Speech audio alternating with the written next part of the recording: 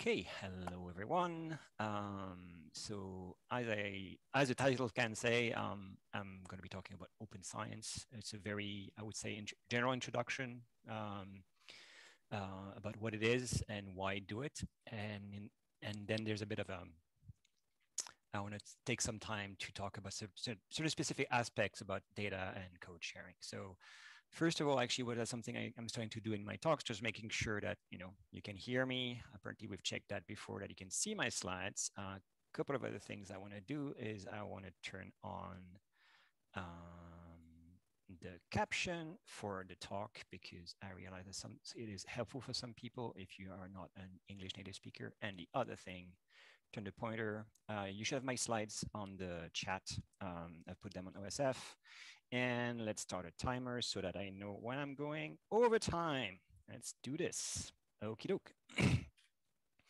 right, so um, as I said, on the menu for this talk, we have uh, like a first short part where I'm going to talk, give you some definitions, very broad uh, because we're dealing with very soft concepts here. There's no like clear cut and dry definitions, and also maybe some of the motivations of why you would want to sort of engage in open science or in some of the practices that uh, might fall under the sort of the general umbrella of open science. And then I'm going to talk a bit more specifically about some aspects about data um, and code management and sharing because I have personally found those have been the most like um, helpful in my everyday life, and I tend to uh, sort of be, be a bit more knowledgeable regarding those. Okay, so open science, what is it? Um, so there is, is, as I said, it's hard to define, but uh, the way I, I've grown to sort of see it is sort of the metaphor I'm going to go with here is that, uh, well, sorry, forgot. Uh, yeah, as I said, there are many ways to define it. And sometimes you end up having a long conversation about open science and you realize that uh, people keep using that word and you say like, I don't think it means what you think it means. Uh, and you just realize that you both have very different definitions. So um, if you talk about open science with anyone, my recommendation is uh, first agree on what you mean by it so that you're not going to talk past each other. Um, so yeah, the way I like to see it is like a big communal tent with many entrances, and meaning that people come to do open science or come to open science for different reasons or through different pathways, right? Um, people, some people may come there uh, through the uh, open access. So meaning that you have this idea that the, the outcome of um, science that is published in journals would be accessible to everyone for free. Uh, and usually librarians have a lot to say about that. Um, and with the emergence of preprint that have gone beyond the original, like uh, where they were just at the beginning in, in, in, in physics, uh, this is also an aspect that you're going to hear a lot about.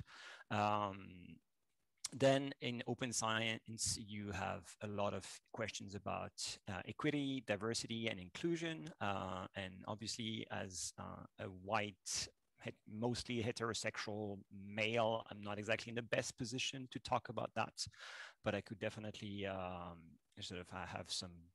We could talk about that after that in the in the Q and A if you want. Um, there's the aspect of open data and uh, open source, which I'm gonna, which open source usually mean open code in this case, uh, which I'm gonna talk uh, later on during the talk. Uh, there is this idea of citizen science, the idea that uh, the stakeholders, uh, for example, the stakeholders of the research can get, can be, um, can take part in the research process itself. So whether they are the patients or whether they're, for example, citizens that are involved into trying to solve a problem, they interact directly with researchers, for example. Um, there's the aspect of open education and making sure that the materials we create uh, to teach uh, are openly accessible to everyone. Uh, for example, MOOCs are a very popular thing uh, and they're definitely fall under that category. And more recently, uh, I think in the past 10 years, especially in psychology, there's been a lot of talk about the uh, reproducibility, reproducibility aspect of research. And so there is this sort of category like open reproducible research and uh, yeah and that's pretty much where i sort of got into sort of open science. This was this was the door I came like I came to. Um, and oops, and well, I'm not going through the list. There are other points because otherwise it could be like a whole talk just about that. So yeah. Um, and just quickly, once again, um, we I'm going to talk a little bit about reproducibility and replicability. And here again, I must give you a couple of definitions because you realize that people do not agree on those terms. So the way I tend to understand them or the way I'm going to, I will tend to use them in this context, in the context of this talk, is uh, follow sort of this, um, uh, this table here. So for example, when you have a given, uh, you have a set of results on a first uh, study, and uh, then you try to um, you rerun the study uh, and you either uh, and you sort of so so either you keep the same you have exactly the same data and the same code and you see whether you get exactly the same results so this in this case you will say that the results are reproducible um, or you can acquire a new batch of data, run a new set of participants for your experiments, what have you, whatever uh, type of research you do. So you get a new set of data, but you use exactly the same analysis. Uh, if you get the same results in the first and the second, then you talk, you say that the results are replicable.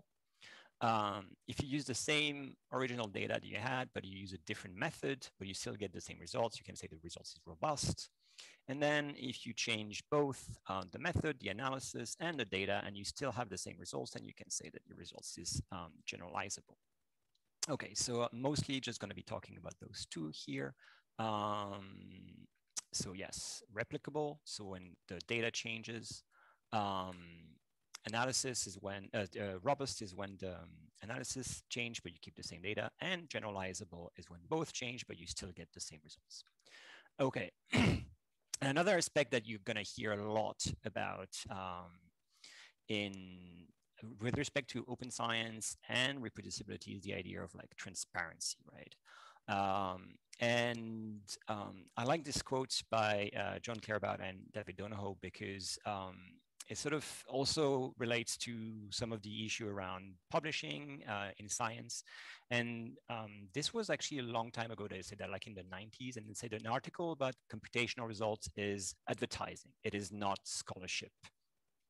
And the actual scholarship is the full software environment and code and data that produce the results, right? So the idea is that um, the idea about transparency here is that we should actually be able to provide uh, the code and the data and ideally the software environment that we use to get to our results. uh, so in other words, you know, if someone in science says, yes, I know Kung Fu and my results are significant, most of us nowadays would go, well, show me uh, it's not just a matter of uh, having just a result, the end result and the, and the p-value next to it. More and more, we actually want to see, um, you know, how the sausage was made and how you got there. Um, one thing that is good to keep in mind also so that you don't drive yourself crazy uh, trying to make everything uh, reproducible from the start is that things, um, when you talk about reproducibility and all this concept I've talked about, go along a continuum, right? So um, for a lot of papers, uh, there's only the publication and we can have access to the data or to the code. Uh, and then on the other hand, you have, uh, you have papers where, you know, you got access to everything and with just a couple of clicks or a couple of uh, instructions on a, in a terminal, in a computer, you can just rerun everything, right? And then you have everything in between. Uh, and that's something I'm going to try to reiterate. If you're interested in doing things like this, don't necessarily try to aim this. Say, if you're starting from there, just start to just get a little bit there and then a little bit there. Don't try to go all the way there at once. Otherwise, you're gonna, that's not a healthy way to approach this. So another thing that's good to keep in mind, and I've learned sort of not I wouldn't say the hard way, but uh, sort of there uh, with a lot of the discussions that you have um, in the field is the idea that something can be reproducible or replicable and it can be transparent, but it doesn't make it true. Uh, so uh, you can be, the, uh, the trivial example I'm gonna take here is, you know, you have this function, uh, some like it's code, it's like, this is a very like simple code. Uh, and the idea is that um, you give it data and it's gonna give you uh, a result And the function there is going to give you the answer to what's the meaning of life, the universe, and everything. Uh, but when you look inside the function, you see that it always is going to give you uh, the result 42. So um, your results here, uh, if you give it new data, uh, so it's always going to give you 42. So you would say, hey, this is replicable. Uh, if you give it the same data, it's also going to give you 42. And everything here uh, is transparent, right? You can see everything that has been going on, uh, but it doesn't make it true nonetheless, right? So it's a bit of a trivial example, but this is also to show um, um, that, um, ah, sorry, um, I'll, I'll get back to that later, sorry, my bad. Um, so yeah, I'm going to try to wrap up a little bit on, on this first part, but the idea is that open science um, is definitely not like uh, it is a community, but it is definitely not a single monolithic and like homogeneous community, right? It is made of a whole bunch of people who have, you know, different interests and come for different things. Um, and uh, and I can tell you one thing is definitely not one big happy family where unicorns ride, ride um, on rainbows towards the sunset. Like if any of you has spent some time having a look at what's going on in the open science Twitter or psychology Twitter in general, you can definitely see that um, it's it's uh, yes. Um, let's say that blood pressure can rise on all sides very quickly, very often. Um, but I think definitely one thing we, a lot of people can agree on is that definitely open science at least sort of covers a set of practices um, that can be used as mean to a certain end. Uh, and that's the point I was trying to make just before is that um, different depending on who you are, what your interests are, what study you run, um, you might have different, you know, um, like the end goal we might for all of us might still be that we want to produce high quality science but there are different ways you can get there uh, and there are different sort of intermediate steps. So uh, for a very long time or still nowadays um, you know we're still interested in very interested in producing new results right so discovering new things. Uh, now there's been a lot more emphasis on replicability uh, that has come uh, that comes you hear a lot more about it right? And sort of the, the the practices that you put in that you use to sort of achieve those intermediate goals uh, are going to be different. So uh, depending on what is the sort of the intermediate step you want to reach um, and uh, the other thing that's important to keep in mind is that depending on who you are and what what you want to focus on and what and a given study, for example, you, are not going to be able to have all of those, right? So uh, you're going to have to make choices. Uh, and as a field, it's important to uh, not put all our eggs in the same basket uh, so that we sort of do not necessarily just prioritize this, but keep all of those other things in mind.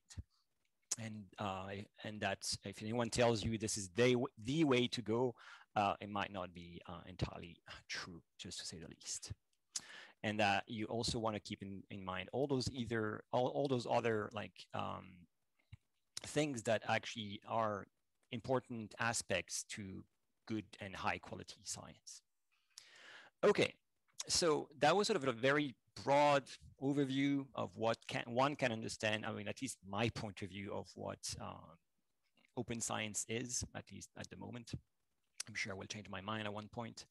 Um, so why do it though? Um, well, I think one reason why you might want to do it is because it's good for you. Um, so there is this idea that you share data and code. So it must be like ultimately it must be some sort of like the the ultimate motive must be a selfish one, but it doesn't have to be. Uh, and uh, similarly, working reproducibly uh, is not uh, is is also just definitely good for you. There's actually a um, oops a paper about about this. Like they just go through a list of like five selfish reasons why you want to work reproducibly. Um, so yeah, the the, the end motivation for me is also because it helps me work uh, in a more efficient manner on a day-to-day basis. Um, okay, why do, am I saying that? Well, one of the reason is that um, you get, we often get into this situation when you start, um, when you start a PhD, you or a new project, um, because sometimes you know you always start with a blank slate even if you're a postdoc or a pi you just start again. And at the beginning you know things look pretty okay. You're sort of on top of everything.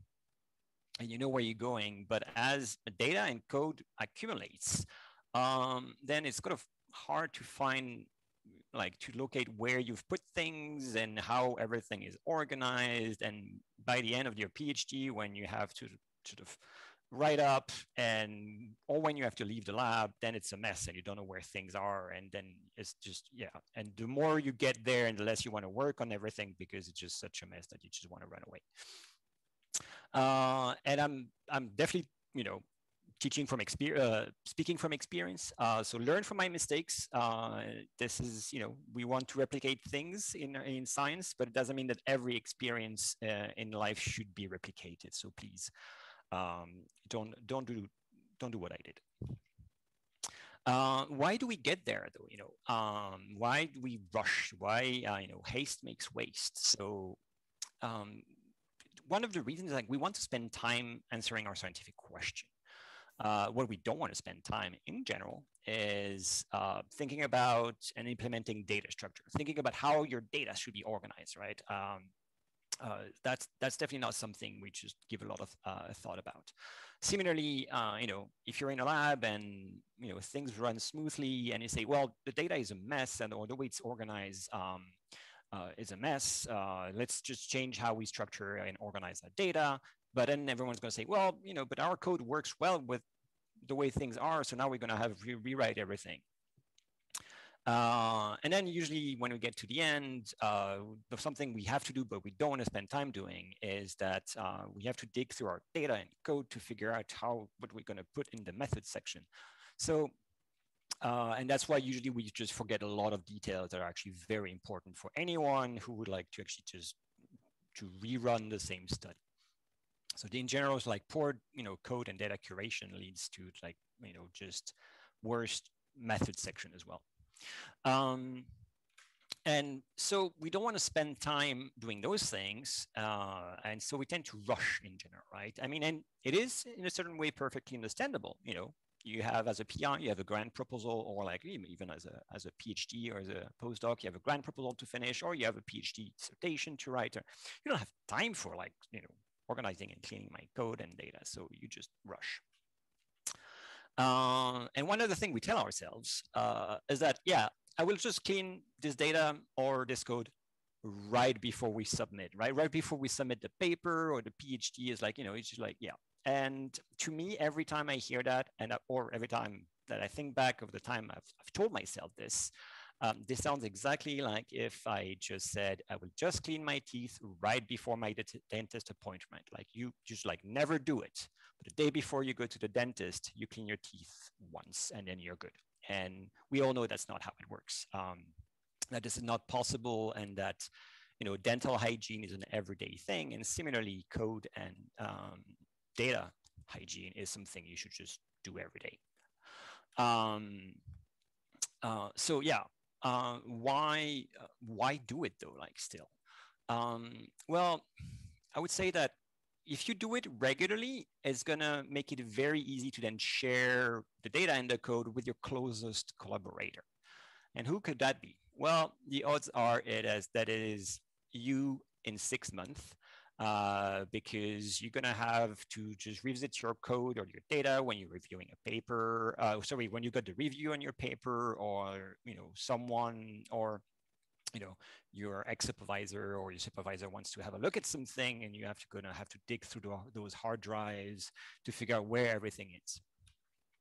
And yeah, and most of the time, you know, we pay the price of our past that our past selves have not decided to pay, right? So this the idea that later on you still have to maintain like crappy code or you have to go back to your old data and you know you can still just you know in that comic you can just travel through time through a time machine and just tell your past self that um, you know you should write better code because now I can now in the present I cannot understand it right um, unfortunately we don't have a time machine so um, it tends to be better to just do everyday good you know, cleaning uh, a little bit so that the future becomes more manageable. Okay, so uh, for the rest of this, I just want to sort of uh, go a bit quickly through not all those points because that would take me ages. Uh, I want to just like emphasize certain aspects of some of those.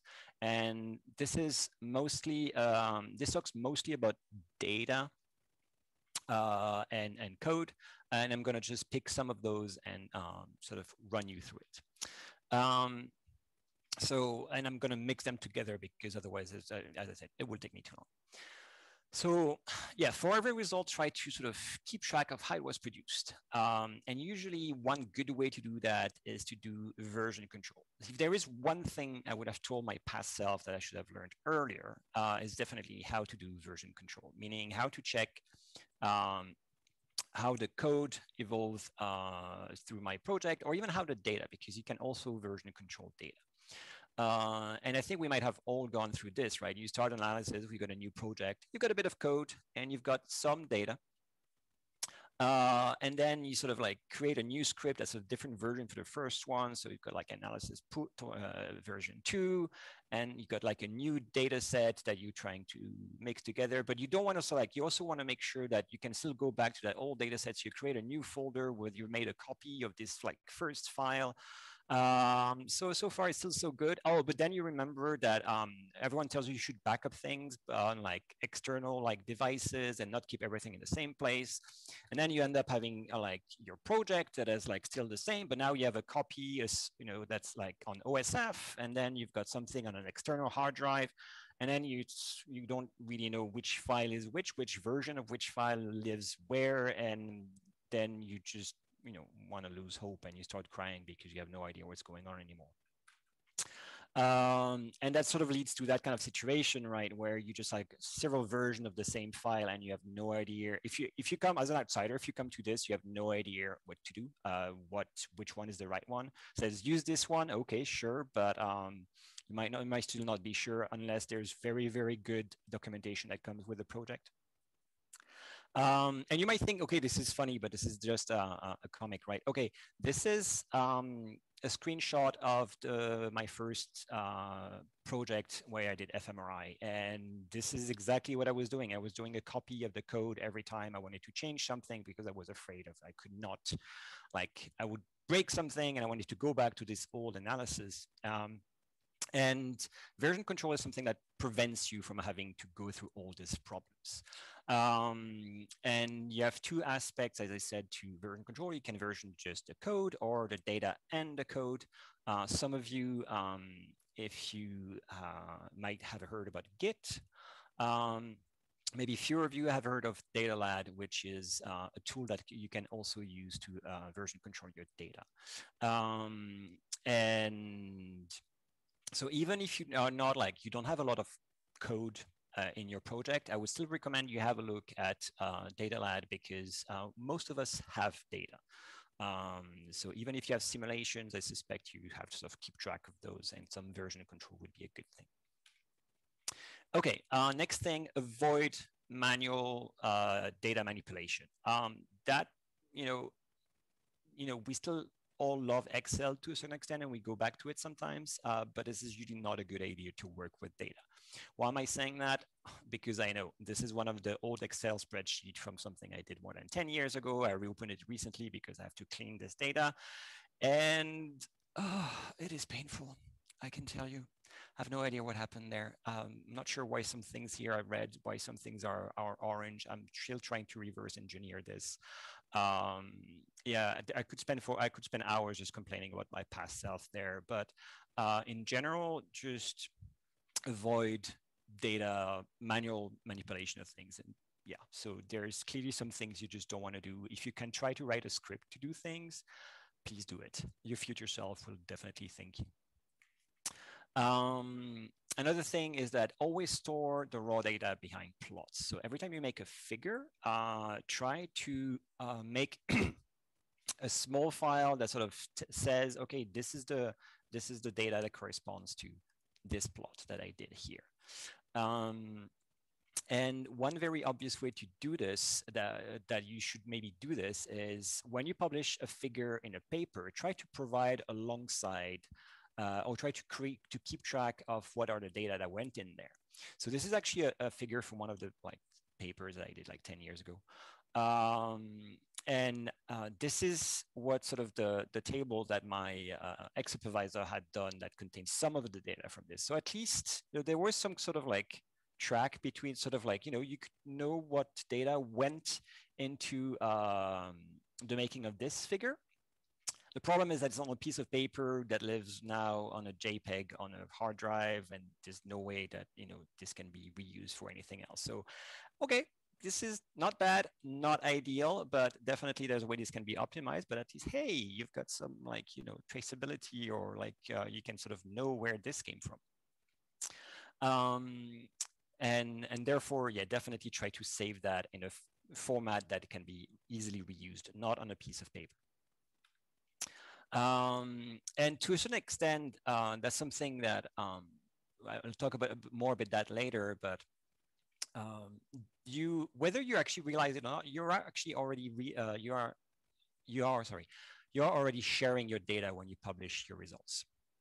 Um, it's the most obvious when you have a scatter plot. So um, um, there should be a, there, will be a link to this tweet, but the idea is that there are some if you have a scatter plot of your data on uh, in your paper, you can you know click quickly just go and use some tools to just figure out what the value is for each of that dot, those dots on the, on the scatter plot. So if the reviewer or if a reader can do that, why not just provide them directly with a table that you know represents the scatter plot because that will make everyone's life easier if they need to compare your results and theirs. Um, so another aspect is that every time you make a new analysis, uh, try to record like the intermediate results that led there. Um, and ideally try to organize those uh, in a hierarchical manner. Um, I'm going to give you some examples that come from uh, neuroimaging now. So um, yeah, as I was saying, your results are a summary of your data. So most uh, neuroimaging paper, like for fMRI, for example, uh, include the peak coordinates, meaning that when you have an activation in the brain, it will show you where the activation was the highest in some parts of the brain. And will say, okay, this was this location uh, in the brain, um, and this was the activity we measured there with some statistics that goes with it. And most um, neuroscientific papers have this in them. Um, but it is a very, very summarized uh, version of the data, right? Uh, so you just have like, you know, just you, have, you just have uh, a few data point from something that's like covers the whole brain. Um, so a better way to do uh, to share that data or share those results is that you can uh, share what we call the whole statistical map, uh, meaning that you share an image, literally a, a 3D image represents the brain and gives you the activation at every point in the brain. Uh, so this way you've shared more of your results. The paper still contains the very summarized version, but for people who might be interested, uh, there's a way to access uh, sort of the results you had at every point uh, in the brain for this analysis or this study, for example. So the idea is like you create a less summarized version of your data but the idea is also that uh, you know the the statistical map are then what gives uh, your sort of uh, peak coordinates. So you have this hierarchical way to organize your data. You summarize more and more your data. Uh, and then obviously below that you have you can share directly like the raw data, um, meaning uh, sort of you know sort of what got out of the scanner uh, in this case. Um, and then some people decide to even just share the raw data and the pre-processed data. But um, so the idea is that um, there are different levels at which you can share your data, and um, they all they all vary depending on the scale of cost uh, of data sharing and also hosting because obviously this is just uh, a few data points. This is not heavy at all. It's going to fit into a table. And here we're talking about things that are going to take easily like gigabytes or uh, maybe possibly terabytes of data. Okay, and potential for reuse as well is definitely not the same. If you have all the data, you have you can do a lot more than if you just have a single data point. And another thing that's super important as well is that um, as you go away from this like very rich data set, your data becomes also more anonymized and therefore easier to share. Okay, um, one thing to also keep in mind um, is to ideally just use standardized formats uh, to uh, organize your data or to share it, and ideally to add contextual information, usually that we call metadata. Um, and so use file formats that are interoperable, meaning that you can reuse them with sort of almost any other software and you don't have, you're not stuck on using just like Mac or uh, Windows in a specific software there. Uh, unless you want to end up in conversion hell like I did two weeks ago because the software I had used to create some thing did not exist anymore and it would just had to convert things through like five different software to, to end up having something I could reuse. Um, and these are like, I'm not going to just go through the list of this, but just to tell you that usually depending on whether you're using metadata or data, there are some, some general recommendation of what format you should be using. Um, but what's very important to keep in mind is that maybe in your domain uh, of research, there are certain specific way to organize data that are even better than the one I, uh, I showed you on the previous slides. Uh, and for example, in neuroimaging, we have uh, BIDS, which is the brain imaging data structure that you can use to organize your, your raw data, the stuff that comes out of the scanner. Or uh, if you want to share your statistical map, there's the, this other thing that we call NIDM that, com that compiles all the information about a statistical map and the metadata about how you sort of created that result. Um, and about BIDS, I'm just going to say a couple of words because I could talk about that for hours and I could bore you to death. But the idea is just um, a way to just, it, yeah, it's, it's just a way to organize your data of how subjects should be organized, which type of, if you have anatomical data, then for example, it goes into a specific folder. If you've done some PET imaging, that goes into a different folder. Um, and you have very strict conventions of how the names of the files are supposed to be um, structured um, and where uh, the metadata for each file goes here, here into it. Like this is an, a brain image and here you have all the metadata about that brain image stored into like a JSON file. The idea about this structure is that it is so uh, so organized and you have clear specification of how to organize it that if you tell someone this is a BIDS data set, that's the only information they need to know and they will know where to find each piece of information. Uh, and in and it, it's just it's a standard that's, a, that's expanding. It started with MRI and covers also EEG, uh, uh, intracranial EEG and MEG. Recently, PET, uh, and you can also store some, to a certain extent, some aspects of behavioral and physiological data. And it's expanding, so uh, I think should, we should have like eye tracking and motion tracking and, and things like this. Um, okay, but it could be that you, you're in a field where you don't have such standards, right? So how do you do it?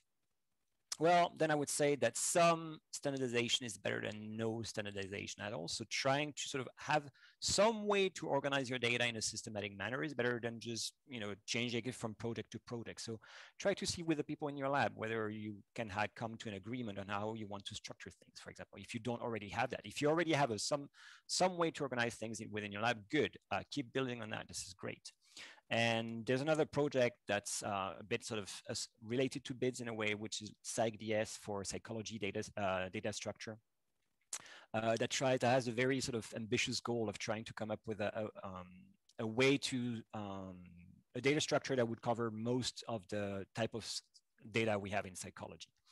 Uh, and it's an open source project, so you can always go there, see how uh, how far how long they are, or like help them to see how, how it covers your your use case and so on. Um, all right, the last part is about uh, the last part of but here is about providing public access to scripts, runs, and results. So the idea is about really about sharing uh, the code and the data.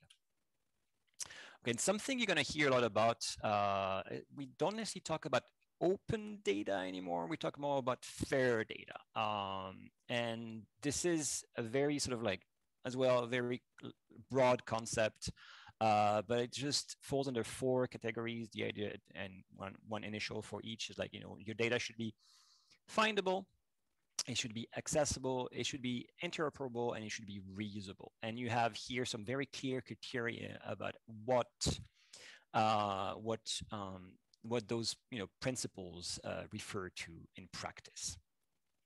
Um, one, I think, yeah, I don't want to like go for ages on this because this is uh, once again too complex uh, to just cover in the time I have. So uh, one thing that I, I want to I want you to keep in mind, and that's also related to FAIR, that FAIR data should be as open as possible and as close as necessary because uh, you know, open because in order to foster reusability and to accelerate research, that's that's what we want. But there is also this thing, especially in psychology, for example, when you're dealing with participants who have to give their consent, and uh, can also come with sensitive data. The idea is that you want at the same time uh, your data to be closed so that you can safeguard the privacy of your subject. So you always have those two things, like you want to make things open, but I don't want you don't, don't want to compromise your uh, the the privacy of your participants. Um, and when you're sharing data or code, actually, one thing to keep in mind is uh, long term. Uh, so there are different you know, options that are around, and they might not all sort of be there in five years, 10 years or 50 years, right? But there are some where uh, some of those options that I, there where I've actually got some money from governments um, or from the Europe, uh, European uh, Union in general, uh, where you can actually just like store things for long term. So the Open Science Framework is one of them. Um, Zenodo is another one. GIN uh, is based in Germany, is more specialized into neuroscience, but you could you could totally just put like any kind of data there or code actually. Figshare is another one of them. Um, GitHub uh, is for code, not for data. Uh, and I put in, I put an arrow and that goes to Zenodo here because GitHub is owned by Microsoft now. Um, and it could be that maybe in five years or in 10 years, Microsoft decides to just like make this whole thing to close it down or just make the thing, this thing not completely open anymore. So um, it's better in that case if you putting some code on GitHub uh, to sort of then have uh, set up an archival process that can be automated that will then transfer all your code onto Zenodo, which is public and has funding for at least the next 50 years easily. One thing to keep in mind, avoid things like Dropbox and Google Drive um, for a whole bunch of reasons. Uh, but one of them is, I would say that uh, if, if only because of this thing called GDPR, which um, that regulates uh, so data protection. Uh, that's based in like uh, European-based rules. Uh, and the idea is that if you have data that relates to participants that are uh, from Europe, then that data is not supposed to leave Europe, right? So um, make sure that wherever you put your data, your data is not going to end up on a server that's based in the US, for example, like it can be the case for Google or Dropbox. And in general, when you're not sure about those questions, uh, check what are the options that your institution offers and also check with, um, there should be one or several person in your institution called a data protection officer, and they will be able to advise you or where you should put your data. Uh, okay, and there was another point I want to talk about, but it was not mentioned in the article. So I had to create an 11th rule here. Um, and this one is much more about the code itself. Uh, and you want to make sure that your code is nice and readable. Um, and for example, not like this code. So this is actually a programming language called Whitespace. Uh, and the only thing this uh, language understands are spaces and tabs, nothing else.